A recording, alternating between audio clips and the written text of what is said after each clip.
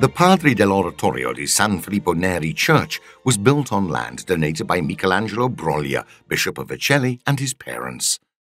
The building, based on plans by the architect Antonio Bettino, was terminated in 1673 and consecrated in 1681.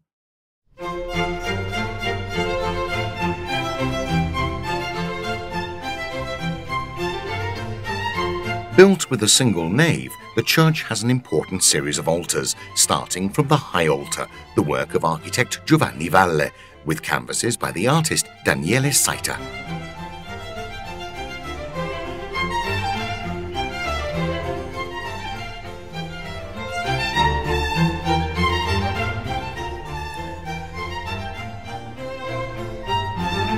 The other altars of San Filippo Neri, those of Saints Peter and Paul and San Carlo Borromeo, were all the work of the architect Pietro Paolo Cerruto.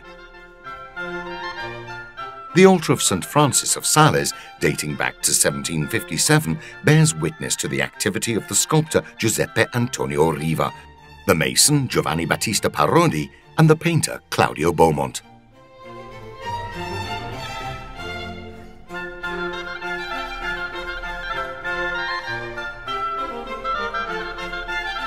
The counter facade hosts the confessionals sculpted by the Riva brothers.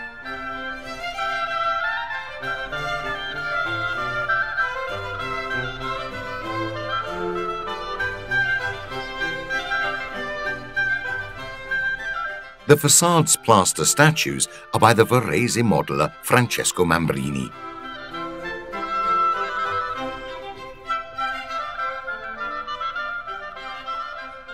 Adjoining the church is the imposing building of the former College of San Filippo, built from the plans of Bernardino Quadro, renovated and enlarged around 1780 by the architect Galletti.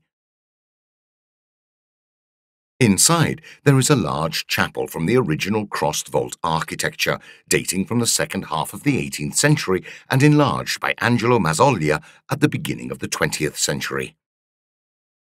After the Napoleonic suppression of religious orders and the Restoration, in 1828 the building passed to the Diocesan Curia of Turin that used it as an archiepiscopal seminary, also attended by San Giovanni Bosco and the Blessed Giuseppe Cafasso. It later passed to the municipality of Chieri's administration.